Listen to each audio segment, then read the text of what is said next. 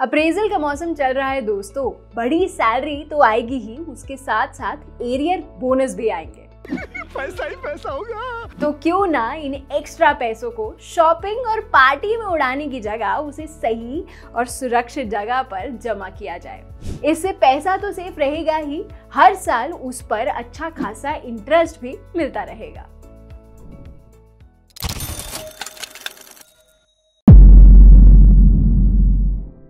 मेरा नाम है मेधा और आप देख रहे हैं जोशमन।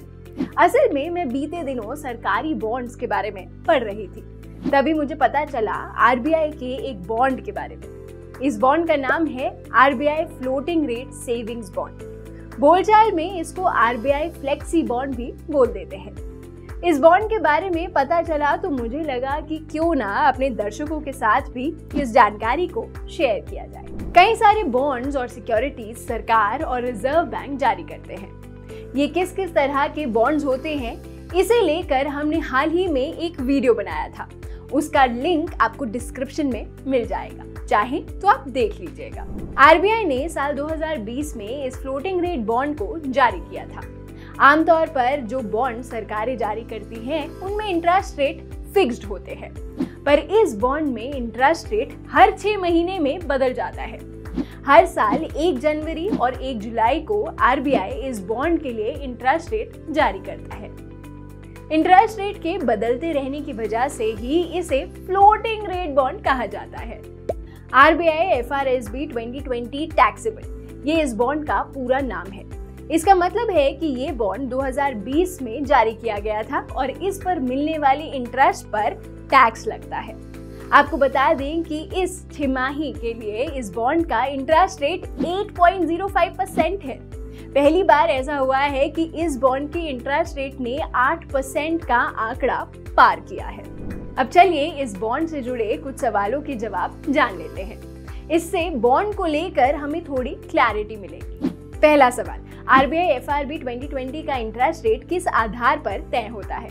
इस बॉन्ड का इंटरेस्ट रेट पोस्ट ऑफ़िस के नेशनल सेविंग सर्टिफिकेट यानी एनएससी से जुड़ा हुआ है। फॉर्मूला ये है कि आरबीआई इस बॉन्ड पर एनएससी से 0.035 परसेंट ज़्यादा इंटरेस्ट देगा। एनएससी के इंटरेस्ट रेट हर तीन महीने में बदलते हैं। जुलाई सितंबर क्वार्टर के लिए एनएससी का इंटरेस्ट रेट 7.7 परसेंट है। जिस भी तारीख पर RBI floating rate savings bond का इंटरेस्ट रेट जारी होता है, उस तारीख पर एनएससी का जो भी इंटरेस्ट होगा, उससे 0.35 परसेंट ज़्यादा इंटरेस्ट इस बॉन्ड के लिए जारी किया जाता है। अगर एनएससी के रेट बढ़ते हैं तो इस बॉन्ड के भी बढ़ेंगे। अगर उसके रेट घटते हैं तो इस बॉन्ड के भी घटेंगे। ये इंटरेस्ट साल में दो बार, यानी पहली जुलाई और पहली जनवरी को बॉन्ड होल्डर्स के अकाउंट में ट्रांसफ़र कर दिए जाते हैं। RBI F R B twenty का लॉक इन पीरियड क्या है? लॉक इन पीरियड के मामले में ये बॉन्ड थोड़ा पेशेंस चेक करता है। सात साल का लॉक इन पीरियड है। लेकिन सीनियर सिटीजन के लिए लॉक इन पीरियड में थोड़ी छूट है। 60 से 70 साल के सीनियर सिटीजन 6 साल में 70 से 80 साल के सीनियर सिटीजन पाँच साल में और 80 साल के ऊपर के सीनियर सिटीजन चार साल में अपने पैसे निकाल सकते हैं। कितने पैसे RBI F R B twenty में आप लगा सकते हैं? इस बॉन्ड में आप मिनिमम हज़ार रुपए और उसके ऊपर हज़ार रुपए के मल्टीपल में जैसे दो हज़ार, चार हज़ार, दस हज़ार रुपए लगा सकते हैं।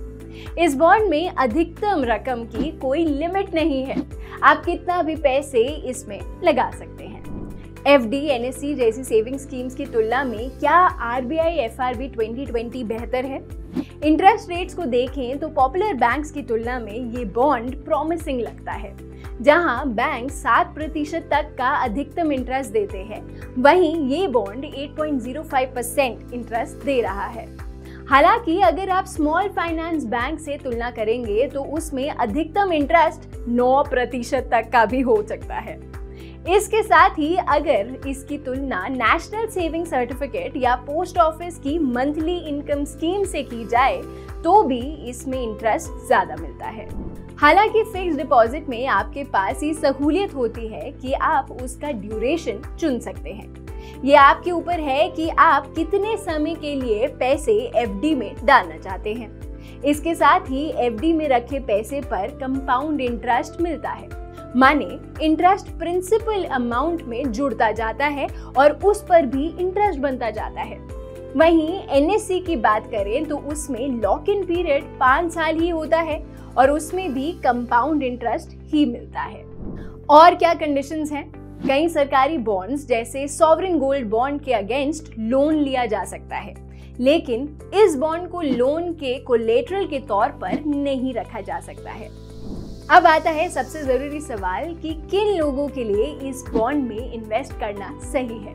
इंटरेस्ट रेट के लिहाज से देखें तो इतना हाई इंटरेस्ट देने वाली स्कीम सीनियर सिटीजन के लिए तो है। जैसे पोस्ट ऑफ़िस का senior citizen saving account 8.2 percent interest देता है। हालाँकि आम लोगों के लिए इतना हाई यील्ड वाली स्कीम कम ही होती है।